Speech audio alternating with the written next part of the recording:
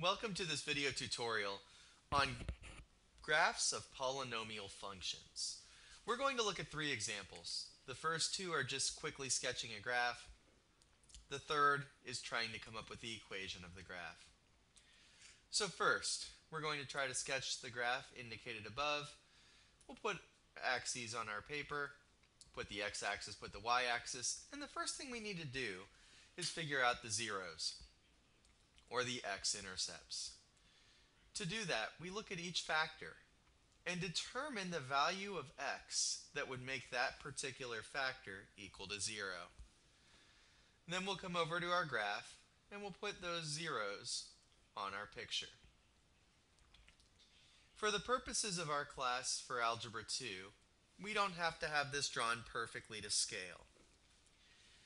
The other thing that we have to determine is the end behavior. So we think about foiling out this whole expression and seeing what the largest degree term would be equal to.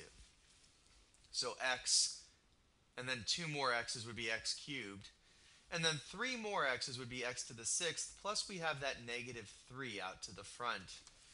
So when we go to look at the end behavior, we have negative 3x to the sixth. Even exponent means that it will be going in the same direction. Negative out front means that it's going to be going down to both the left and the right. When we go to draw this graph, we have to be mindful of exponents. So at negative 4, it's going to act like x squared. It's going to bounce off and look like a u.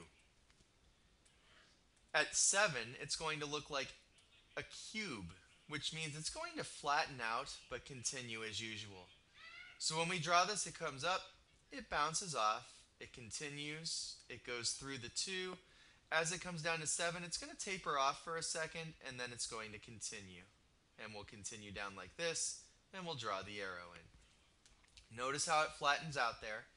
Notice how it bounces off the negative 4. And also notice how the graph draws itself. Let's look at a second example. Oh gee, here's our second example. When we look at it, watch out. There are three factors. Here it's going to be a negative 5 that gets us a 0. We'll put that negative 5 over here. This will be a positive 1. But there's one other factor.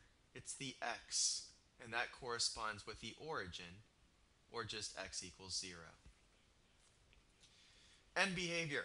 We've got 1x, 2, 3, 4, 5. This will be an x to the fifth.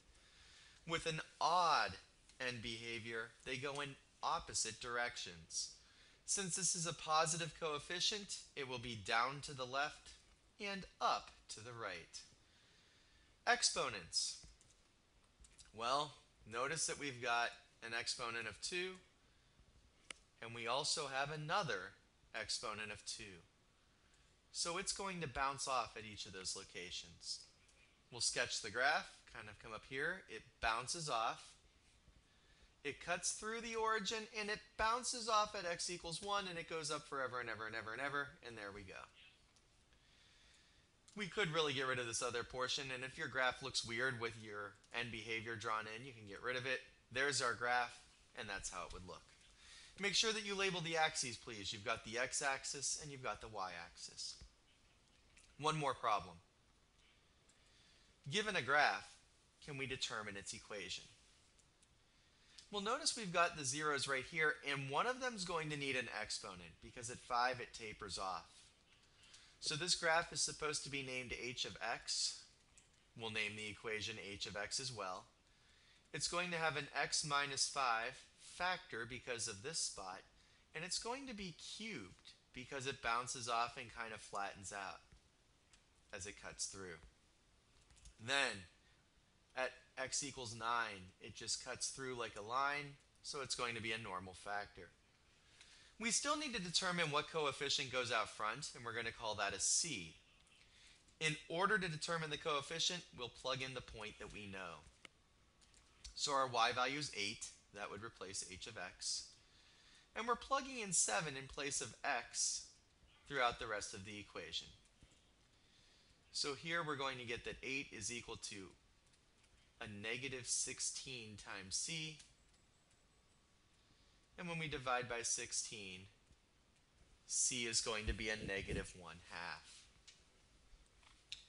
So the factored form for the equation of this graph will be that h of x is equal to a negative 1 half times the quantity x minus 5 squared times the quantity x minus 9.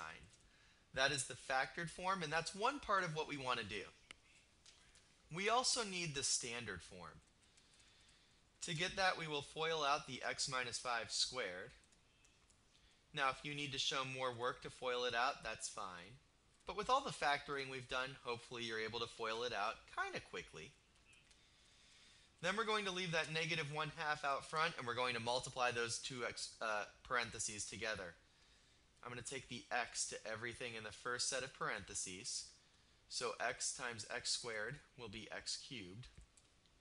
Then we'll get minus 10x squared plus 25x. And then we will run through with the negative 9 to everything. Watch how we line this up. So we're going to have a negative 9x squared keep it aligned, a positive 90x, and then over here it looks like a negative 225. Combine our like terms. So we're going to have x cubed minus 19x squared plus 115x minus 225. We're not quite done because we need to take that negative 1 half and distribute it to all of those items. So it'll be a negative 1 half x cubed plus 19 halves x squared. Leave it as an improper fraction. Minus 115 halves x plus 225 halves. Please call it h of x. Use that same name, and that would be the standard form. The last thing we did with these problems in class was we noted their domain and their range. In this problem, the domain, which are the x values, would be everything. It goes all the way to the left, which is negative infinity, and it goes all the way to the right, which is positive infinity. Its range, notice it goes all the way down. So the smallest the y values get is negative infinity. The tallest they get is up here at a y value of 8 and with the range, we put the rectangular parenthesis to denote that it actually gets up to the 8. Those would be our domain and range. The equations are highlighted in yellow, and that's how we would take a graph of a polynomial and write its equation.